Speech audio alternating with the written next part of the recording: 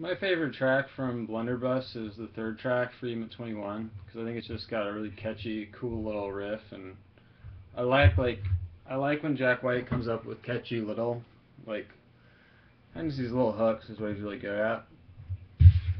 So it's it's basically the second riff. So open up this tab, and this tab is super accurate because the song's real easy. So the second part I think is the catchiest, but the first part you go.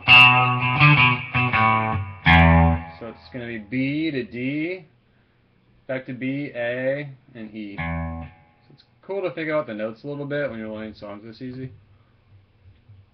So it's basically like B, B, D, B, B, A, E, two, two, five, two, two, zero. So that's the first part, and then the part I think is real cool is.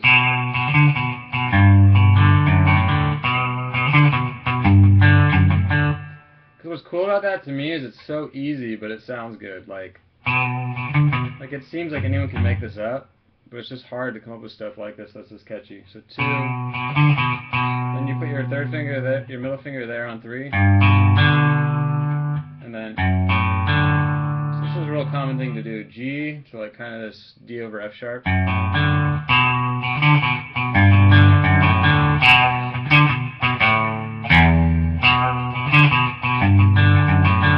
Occasionally he just does this. That's really the entire song, so it's super basic, super fun to play, and then you hear like an E major later. And he has like something that lowers it, so the pitch gets lower, and then he just goes up for a solo. Starts climbing up this string just kind of randomly, and then he ends up on like these notes. So this little box will give you most of the notes, but you could also do it like I mean, I would just mess around with this box and start to get the sound of what he's doing. So it's 17, 15, and 17. Um, so let me do the parts really slow in case someone's a total beginner. Because this kind of stuff seems really easy if you've been playing guitar for a long time, but if you're a total beginner, it's not. So two, I'll do the first part again.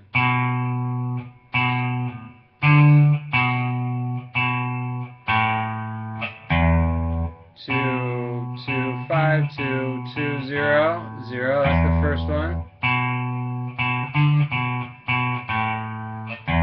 Next one I think is real cool. You do two two with your pinky on five five two two middle finger to three. First finger.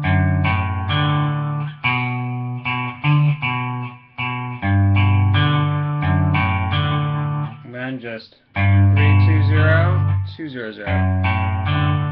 What I was saying is this comes from a G chord, like, it's the bottom of it. And this comes from a D, this is either like a, an F sharp minor sort of a chord, but most of the time you see it like this. So it's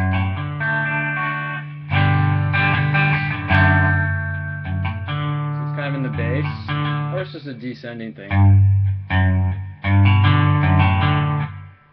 So however you want to think about it, it's just cool sometimes to start noticing these patterns. And E major is just 0, 2, 2, 1, 0, 0. And the stuff he's using to solo over it is E minor pentatonic. Well, he does a ton of songs in that key. So anyways, pretty catchy song, super fun to play. Hope this lesson helped whoever's trying to learn it. Bye.